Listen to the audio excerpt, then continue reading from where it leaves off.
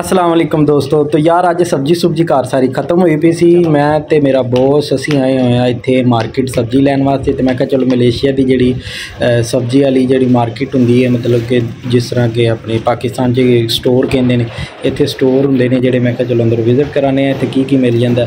ਤੇ ਜੀ ਦੋਸਤੋ, ਅੰਦਰ ਇੰਟਰ ਹੁੰਦਿਆਂ ਨਾਲ ਹੀ ਮੈਨੂੰ ਨਾ ਇੱਕ ਇੱਕ ਸਾਈਡ ਤੇ ਪੱਤਾ ਜਿਹੜਾ ਦਿਸ ਰਿਹਾ, ਇਹਦੇ ਤੇ ਬੈਠੀਆਂ ਹੋਈਆਂ ਨੇ ਮੱਖੀਆਂ, ਇਹਦਾ ਮੈਨੂੰ ਪਤਾ ਨਹੀਂ ਲੱਗਾ, ਸਾਰੀਆਂ ਦਾਲਾਂ ਦੂਲਾਂ ਪਈਆਂ ਹੋਈਆਂ ਸੀ।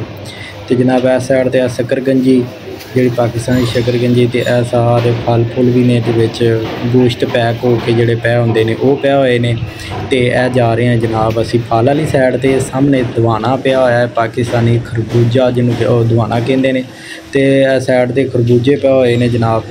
ਠੀਕ ਹੈ ਜੀ, ਉੱਤੇ ਸਾਹਮਣੇ ਚਿੱਟਾਈਆਂ ਲੱਗੀਆਂ, ਇਹਨਾਂ ਤੇ ਰੇਟ ਲਿਖੇ ਨੇ ਪਾਈਨਐਪਲ ਪਏ ਹੋਏ ਨੇ। ਇਹ ਹੈ ਸਾਈਡਾਂ ਤੇ ਸੇਬ ਤੇ ਅੰਬ ਸ਼ੰਬ ਆ ਵੀਆਈਪੀ ਤੇ ਆ ਇੱਕ ਮੈਡਮ ਲੈ ਰਹੀ ਹੈ ਸਮਾਨ ਸਮੂਨ। ਤੇ ਅਸੀਂ ਤੇ ਲੈਣੀ ਸਬਜ਼ੀ ਤੇ ਸਬਜ਼ੀ ਵਾਲੀ ਸਾਈਡ ਤੇ ਜਨਾਬ ਚੱਲਦੇ ਆ ਬੰਦ ਗੋਭੀ ਪਈ ਹੋਈ ਹੈ ਇਹਦੀਆਂ ਵੀ ਇੱਥੇ ਪਈਆਂ ਹੋਈਆਂ ਨੇ ਤੇ ਆ ਵੀ ਲਾਲ ਰੰਗ ਦੀ ਬੰਦ ਗੋਭੀ ਹੈ ਤੇ ਜੀ ਦੋਸਤੋ ਵੇਖਨੇ ਆ ਫਾਈਨਲੀ ਕੀ ਕੀ ਲੈਣਾ ਹੈ। ਅਦਕਰ ਸ਼ਦਕਰ ਮੈਂ ਕਿਹਾ ਚਲੋ ਅੰਦਰ ਜਾ ਰਹੇ ਆ ਤੇ ਇਹ ਫਾਈਨਲੀ ਸਮਾਨ ਲਿਆ ਹਰੀਆਂ ਮਿਰਚਾਂ ਤੇ ਥੂਮ ਤੇ ਟਮਾਟਰ ਤੇ ਕੁਝ ਗੋਸ਼ਤ ਅੱਜ ਲਿਆ ਤੇ ਬਿਰਿਆਨੀ ਬਣਾਉਣ ਦਾ ਪ੍ਰੋਗਰਾਮ ਹੈ। ਚਾਵਲ ਤੁਹਾਨੂੰ ਖਾਏ ਸੀ ਜਿਸ ਤਰ੍ਹਾਂ ਕਿ ਇਹ ਹਲੇ ਸਾਹਮਣੇ ਪਿਆ ਹੋਏ ਨੇ।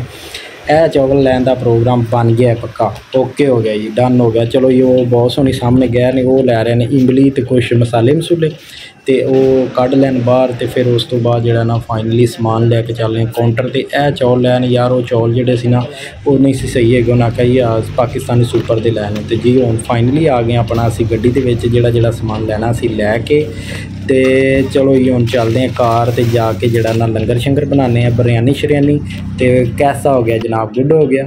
ਲੋ ਜੀ ਫਾਈਨਲੀ ਇਹ ਬਿਰਿਆਨੀ ਬਣਾਈ ਅਸੀਂ, ਬੱਕਰੇ ਦਾ ਗੋਸ਼ਤ ਲੈ ਕੇ ਆਏ ਸਾਂ ਬਿਰਿਆਨੀ ਸ਼ਰਿਆਨੀ ਬਣਾ ਕੇ ਲਾਸ਼ ਕਰ ਰਹੇ ਹਾਂ ਤੇ ਜੀ ਦੋਸਤੋ ਵੀਡੀਓ ਅੱਛੀ ਲੱਗੀ ਲਾਈਕ ਕਰੋ।